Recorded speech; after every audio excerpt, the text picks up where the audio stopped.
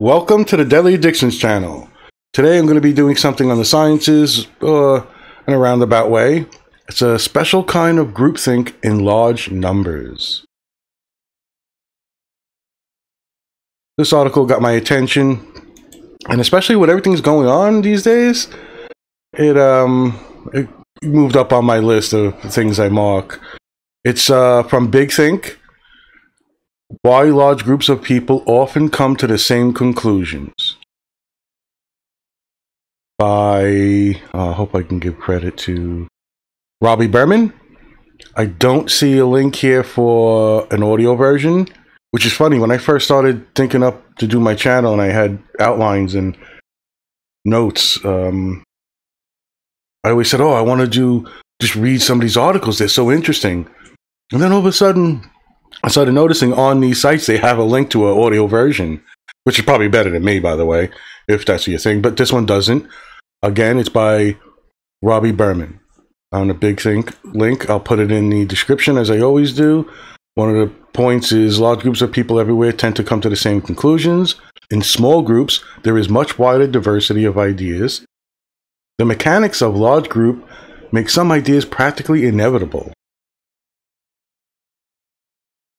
So usually I read it word for word, and so I'll stop here and there, and at the end I give a little bit of my thoughts on uh, the article in general. But this one up front is really because you know what's going on with this fucking political divide and the storm in the Capitol. It can get crazy. So I'll begin. People make sense of the world by organizing things into categories and naming them. These are circles. That's a tree. Those are rocks. In one way, we tame our world. That's a weird correspondence between different cultures, though. Even though we come from different places and very different circumstances, cultures everywhere develop largely the same categorizations. But this raises a big a scientific puzzle, says Damon Centola of the University of Pennsylvania. If people are so different, why do anthropologists find the same categories? For instance, shapes, colors, and emotions arising independently in many different cultures. Where do these categories come from, and why is there so much similarity across independent populations? And these are always type of questions that I've always thought of here and there, you know, when you delve into these type of social things and I'll continue. Centola is the senior investigator of a new study in the journal Nature Communications from the Network Dynamics Group NDC at the Annenberg School for Communication that explores how such categorization happens. Categorization. God, I murdered a fucking language. So you get from a wise ass pothead from Brooklyn. Some have theorized that these categories are innate, pre wired in our brains. But the study says nope. Its authors hypothesize that there that it has more to do with the dynamics of large groups or networks. The grouping game. The research tested their theory with 1,480 people playing an online grouping game via Amazon's Mechanical Turk platform. By the way, I've used Amazon Mechanical Turk platform to make some money. Uh, I wrote like articles, reviews for games, and little things like that. Guess who didn't turn off their fucking phone thing?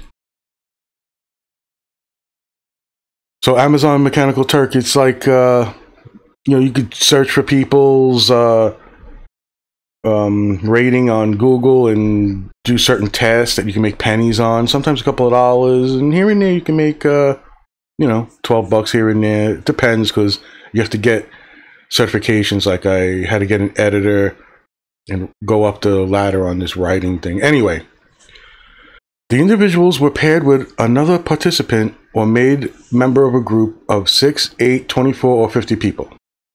Each pair group were tasked with categorizing the symbols shown above, and they could see each other's answers. So they show a graph. By the way, there's lots of links in the article. Made me lose my place. The small groups came up with wildly divergent categories. The entire experiment produced nearly 5,000 category suggestions, while the large groups, the larger group, came up with categorization systems that were virtually identical to each other. Says Centola, even though we predicted it, I was nevertheless stunned to see it really happen. This result changes many long held ideas about culture and how it forms. Nor was this unim- unanimity. uh, unanimity a matter of having teamed up like minded individuals. If I assign an individual to a small group, says lead author Douglas Guilbeault, they are much more likely to arrive at a category system that is very idiosyncratic and specific to them. But if I assign that same individual to a large group, I can predict the category system that will end up creating, that they will end up creating, regardless of whatever unique viewpoint that person happens to bring to the table. Now that's fascinating for me as someone who has been obsessed with uh, psychology, neurology, blah blah blah. I've said it before. Why this happens? Now they show a graph. There's an image here uh, the striking results of the experiment correspond to a previous study done by the NDC that investigated tipping points for people's behavior in networks. That study concluded that after an idea enters a discussion among a large network of people, it can gain irresistible traction by popping up again and again in enough individuals' conversations. In networks of 50 people or more, such ideas eventually reach critical mass and become a prevailing opinion. Uh oh. That's okay. The same phenomenon does not happen often enough within a smaller network, where fewer interactions offer an idea less of an opportunity to take root or take hold. I'm changing the fucking article. Beyond categories. The study's finding raises an interesting practical possibility.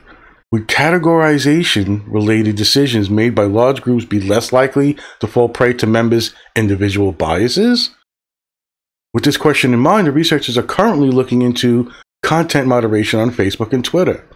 They're investigating whether the platforms will be wiser when categorizing content as free speech or hate speech if large groups were making these decisions instead of lone individuals working at these companies. Pretty interesting in today's climate, right? What's going on? Similarly, they're also exploring the possibility that large networks of doctors and healthcare professionals might be better at making diagnoses that would avoid biases such as racism or sexism that could cloud the judgment of individual practitioners. Many of the worst social problems reappear in every culture, notes Centola, which leads some to believe that these problems are intrinsic, intrinsic to the human condition. Our research shows that these problems are intrinsic to the social experiences humans have, not necessarily the humans themselves. If we can alter that social experience, we can change the way people organize things and address some of the world's greatest problems. Now, there's a little bit of nuance in here, and it almost flips on itself the way my brain was working, and it's starting to say that you could cut out biases and stuff by using the large groups. And it's a weird dynamic, in my opinion. I get fascinated by this. There's always been this um, fascination with like people will do in large groups and how you get swept up in the moment. And this is uh, so many layers to people's behavior. And it's good to see studies like this coming out, especially like I said, and probably why. When was this put out? Like when was it? When was this made? January 14, 2021. Okay, so it recently came to my attention, which is why I used like three days ago. You could tell it's clickbait in a way because it's what's going on, right? We got uh, this political unrest storming the Capitol. Uh, you know, the president saying that this is a lie, it's a fraud, the election was stolen and he'll repeat things like uh, 75 million people voted for me, the most ever. But what about Biden? And all those are fake.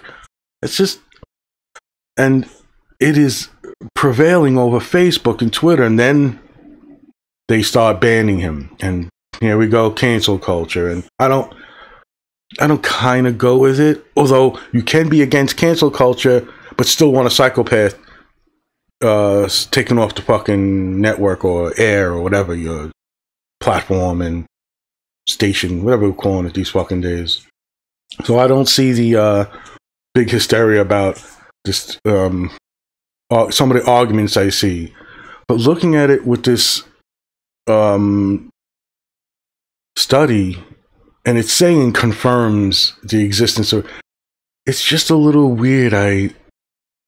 It, it makes me think like what it says at the end. Like, could we alter our social experience? Can we change the way people organize things and address some of the world's greatest problems? And I've always had this base thing of if we taught children breathing and meditation exercises, and as their developmental stages change, we alter our teaching of them. And I'm talking about not giving them our bias bullshit. You don't teach them our religion or something that you believe. Letting them explore the connection between their breathing and their thoughts and this untamed craziness we have going on in our brains that we're still trying to figure out. I think that's a great foundation for solving some of these problems. You create these natural patterns of buffers, of um, uh, at least getting a little bit, what do they call it, like in some of the, like an inoculation to nonsense. You're, you're training your body to be more calm and focused and reasonable. It doesn't mean we're not going to all suffer the same conditions that we do as humans in life, but it fascinates me that a big, large group, they, it's just you can take the people out and switch them around and it changes everything. Keep doing these studies. I will never tire of things like this. And even, even though it's not really the science, well, maybe this is, uh, yeah, you know, you're doing research and studies. And there are links here so you can go to actual uh, parts of the study, uh, lots of graphs. It's a, you know, here and there I find things that uh, I'll move up on my list. I have things from like 2016 or 2017 that have fascinated me that I've put on years later.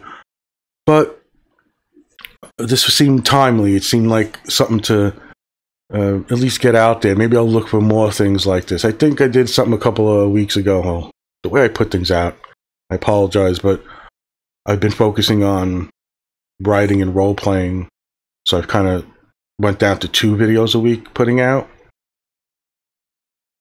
But I will look back and go, wow, this article's old, and but it makes sense now. It kind of fits, and that's how I'll jumble things around. In any case, this is a interesting time we're in. This is looking at this as a um, a, a warning signal and maybe a, a beacon of hope for understanding. You know, how can we um, turn this type of behavior, these patterns we have, this like some say, or they thought was innate, and they're looking at it. How do we use this to our advantage? If we learn more about it, get to the nitty gritty, the all the intricacies and the nuances of it of this, we could have a, an amazing society, culture, and it could spread worldwide. And that would be my pie in the sky dream. Like if you combine the Buddhist and the American culture and you take the best of everything and you kind of blend them.